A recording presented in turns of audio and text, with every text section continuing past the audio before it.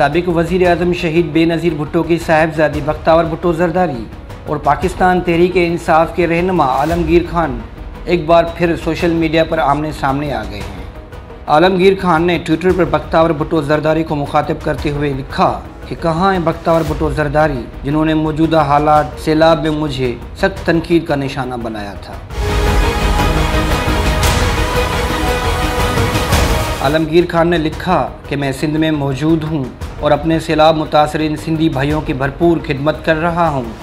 मैंने सुना है कि शहजादी बख्तावर अपने बेटे की सालगिरह मनाने में मसरूफ़ हैं, जिस पर बख्तावर भुट्टो जरदारी ने आलमगीर खान को जवाब दिया कि मैं अपने बेटे की सालगिरह नहीं मना रही, मैं अपनी सालगिरह का केक काट रही हूँ।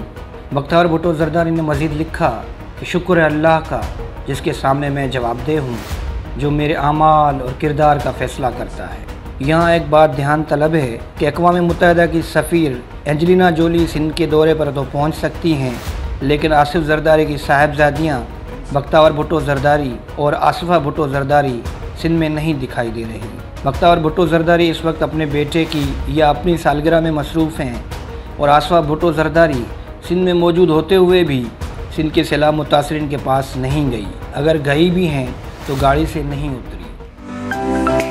Watch more videos, please subscribe to our YouTube channel and click the bell icon.